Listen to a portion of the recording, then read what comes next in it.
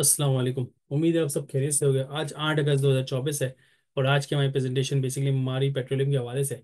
मारी पेट्रोलियम पे प्रेजेंटेशन में जाने से पहले, सबसे पहले आज का अगर ज़िक्र करें थ्रू आउट इस वीक का थ्रू आउट ये वीक थोड़ा सा डल रहा, खासतौर पर शुरू वीक के स्टार्ट में बांग्लादेश की तरफ़ से डिस्टर्ब बांग्लादेश के पीएम की तरफ़ से डिस्टर्बेंस रही न्यूज़ में। प्लस फिर स्टॉक मार्केट यूएस यूके की स्टॉक मार्केट डाउन रही जापानीज स्टॉक मार्केट डाउन रही। तो इस, इसका इम्पैक्ट पाकिस्तान स्टॉक मार्केट में पड़ा। और जब इनका इम्पैक्ट पड़ा तो हम देख सकते हैं, हमारी मार्केट में भी पिछले एक दो दिन से थोड़ा सा सेल ऑफ़ का रुझान ज़्यादा था। लेकिन आज थोड़ा पॉजिटिविटी जिसकी पॉजिटिविटी वजह बेसिकली ये थी कि आज तो मानी पेट्रोलियम के रिज़ल्ट अनाउंस हुए मीज़ान बैंक के अनाउंस हुए जो कि अच्छे थे दोनों रिज़ल्ट इसके अलावा एंग्रो ने अपनी बोर्ड मीटिंग अनाउंस की और एक दो कंपनियों ने अपनी बोर्ड मीटिंग अनाउंस की, जिसकी वजह से एक पोटेंशियली पॉजिटिव एक इन्वायरमेंट क्रिएट हो गया। हमारी पेट्रोलियम की डिटेल प्रेजेंटेशन मैंने बनाई है, जिसको मैं अभी शेयर करता हूँ। लेकिन प्रेजेंटेशन को शेयर करने से पहले रिक्वेस्ट अगर चैनल को लाइक एंड सब्सक्राइब नहीं करते लाइक एंड सब्सक्राइब कर लें, इंशाल्लाह मजीद इंफॉर्मेटिव वीडियोस आएँगी। प्रेजेंटेशन पे चले तो प्रेजेंटेशन का वही टेम्पलेट है update current price board meeting action plan अगर अपडेट की बात करें, जो आज इसके रिज़ल्ट अनाउंस हुए, इसका जो रेवेन्यू और नेट प्रॉफिट सतहत्तर बिलियन इसका प्रॉफिट रहा। और जो इसके ईपीएस में अगर ट्रांसलेट करें तो per share EPS per share five seventy nine रुपये जो कि बहुत अच्छा है। इसी तरह इसकी एक्टिविटीज़ डूइंग द ये ये भी मैंने मजीद एक्टिविटीज़ नेक्स्ट स्लाइड पे मेंशन किए। अगर इसके रिज़ल्ट अनाउंस जो उसने किए बेसिकली अनाउंस किया इसने एक सौ चौंतीस रुपये डिविडेंड पर शेयर अगर टोटल साल का देखें तो दो सौ बत्तीस रुपये शेयर अनाउंस कर चुका। इसकी वैल्यू जब ये अनाउंस की थी, तकरीबन अट्ठाईस सौ रुपये का दो सौ बत्तीस के हिसाब से तकरीबन नौ परसेंटेज डिविडेंड यील्ड बनता है, जो मैं समझता हूँ बस ठीक है, ज़्यादा अच्छा नहीं ना ज़्यादा बुरा है। लेकिन एक चीज़ और इंटरेस्टिंग चीज़ उसने आठ सौ परसेंट बोनस शेयर अनाउंस की और इसको बोला कि इसकी इंटरटेनमेंट तब होगी जब सत्रह अठारह सितंबर होगी।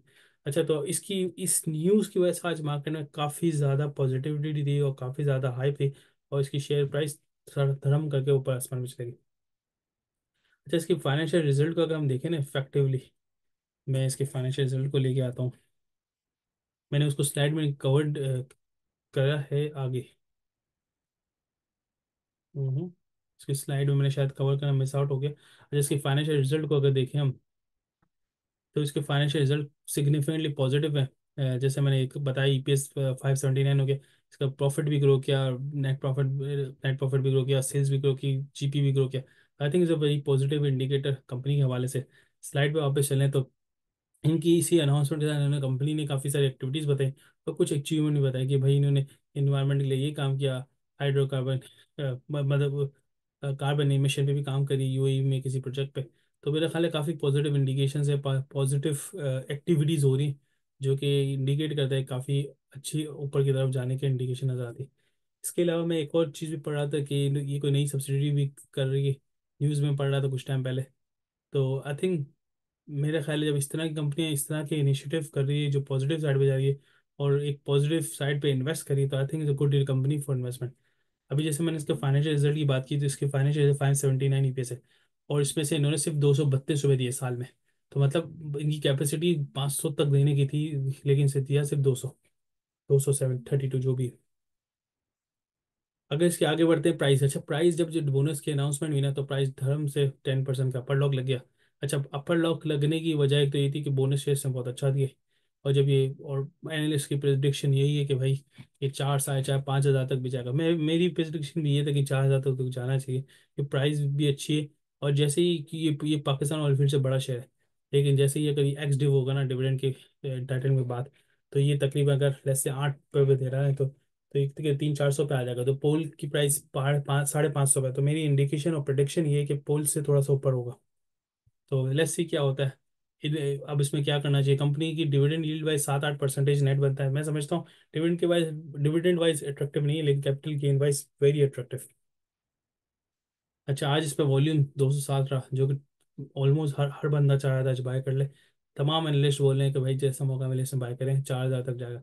आई थिंक मैं इसको डिफरेंट तरीके से देता हूँ। मैं समझता हूँ, जब अगर शॉर्ट टर्म में ये इसकी अपॉर्चुनिटी है तो मैं इसको सिर्फ़ शॉर्ट टर्म के लिए कंसिडर करूँगा। आई डोंट थिंक मुझे मुझे भी नहीं समझ पड़ती कि इस प्राइस में मुझे, एक तो पहली चैलेंज तो मेरा ये होगा कि मैं इस प्राइस से बाय नहीं कर पाऊँगा, क्योंकि अपर लॉक लग रहे हैं ऑपरेट बॉडीज के पहले से ऑर्डर हो गए। इन केस लग जाता है तो मुझे वैल्यू और परसेंटेज वाइज को इतना ज़्यादा मुनाफा नज़र नहीं आते मैं लेस से अट्ठाईस सौ से अभी अट्ठाईस सौ पे तो मिल नहीं रहा मुझे, पहली बात है। कल इकतीस सौ पे खुलता है। इकतीस सौ से अगर थर्टी नाइन हंड्रेड बिक जाएगा तो मेरा नहीं मैं नहीं समझता कि मैंने बहुत बड़ा तीन मार लिया, इतनी जान लगा के इसको स्टॉक लेने पे। लेकिन अगर इसको लॉन्ग टर्म के लिए बाय करना है आई मेरी पर्सनल सजेशन ये पोस्ट डिविडेंड डेट बाय करें लॉन्ग टर्म के लिए। और जो शॉर्ट टर्म के लिए कोशिश करे बाय कर ले। वेरी गुड नहीं बाय करे, कोई बात नहीं। लेकिन लॉन्ग टर्म के लिए आई थिंक इसको अपने पोर्टफोलियो में रखना चाहिए। स्टिल रखना चाहिए। मेरे ये व्यू शुरू से ये मैं स्टिल इस व्यू पे कायम हूँ। एक चीज़। बाकी अब एक इंटरेस्टिंग बात जो मेरे स्लाइड के अलावा जो मुझे ज़िक्र करनी थी। जब ये में, जब इस तरह की कंपनी जब ऊपर जा रही है तो मैं सम, मैं क्या समझता हूँ मैं मेरी व्यू ये है कि भाई इससे रिलेटेड जितनी भी कंपनी है वो भी पुश होगी इसकी वजह से ऊपर जाने की कोशिश करेंगी। जैसे पाकिस्तान ऑयल फ़ील्ड हो गया ऑयल कंपनीज़ हो गया पीएस हो गया। मैं समझता हूँ ओजीडीसी हो गया। मैं समझता हूँ उन पर थोड़ा सा आप नज़र रखें और मुझे लगता है इस जैसे ये बढ़ रही है तो इस सेक्टर की एक कंपनी बढ़ी तो दूसरी कंपनियों पे भी डेफिनेटली इम्पैक्ट पड़ेगा। तो उस पर उस पर आप अपॉर्चुनिटी ले सकते हैं उस पर खेल सकते हैं। मेरी व्यू है क्लोजली मॉनिटर करें पोल को मेरी व्यू क्लोजली मॉनिटर करें ओजीडीसी को वेरी गुड प्राइस स्टिल तो इनको मॉनिटर करें और इन, इनसे रिलेटेड शेयर्स को देखें।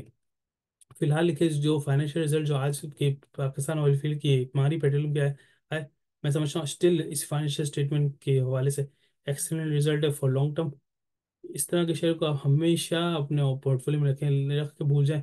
डिविडेंड थोड़ा बहुत देता है, लेकिन कैपिटल गेन अच्छा खासा दे जाता है। जब मैंने लास्ट टाइम वीडियो बनाई थी, इस पर तकरीबन ये शेयर कुछ तेईस सौ पे था। मेरी व्यू थे हाई वैल्यू पे। अपॉर्चुनिटी दी, इक्कीस सौ पे आया। बाय कर सकते थे।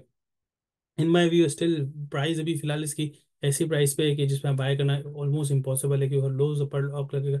आई थिंक आने वाले तीन चार वर्किंग डेज़ में अपर लॉक ही लगेगा। तो केयरफुल इतनी ज़्यादा प्राइस पे भी नहीं लेना कि आपको कुछ फ़ायदा नहीं हो और इतनी कम प्राइस पे भी नहीं पे मिल जाए, जो कि काफ़ी रेयरली तो I suggest think for other options long term के लिए पोस्ट डिविडेंड को मॉनिटर करना कभी नहीं करना बाकी कंपनी के प्लान्स बहुत अच्छे हैं कंपनी के अचीवमेंट्स बहुत अच्छी हैं। अगर इसकी बात करें इसके अब ये पढ़ें डिटेल में इनके काफ़ी सारे वेल्स इन प्रोग्रेस है प्रोटेक्शन फ़ेज़ पे जो कि very good think closely monitor करें। होपफुली इस, इस तरह के शेयर में आप अच्छा खासा बना सकते हैं लॉन्गर टर्म पे। It's good for very very long term और बाकी आप इसको इनकी डिटेल में इसकी रिपोर्ट के पढ़ेंगे तो आपको नज़र आएगा क्या अ, क्या क्या मतलब डिटेल में रिपोर्ट पढ़ेंगे तो आपको नज़र आएगा कितने इनके अचीवमेंट्स हैं। आई थिंक दैट्स इट यही मेरा व्यू है। कोई चीज़ मिस आउट की तो इंशाल्लाह कब, बताना, मैं इंशाल्लाह कवर करूँगा अपनी नेक्स्ट वीडियो में। और अगर चैनल को लाइक एंड सब्सक्राइब नहीं किया तो लाइक एंड सब्सक्राइब करें। इंशाल्लाह मजीद इंफॉर्मेटिव वीडियोस आते रहेंगे। वालेकुम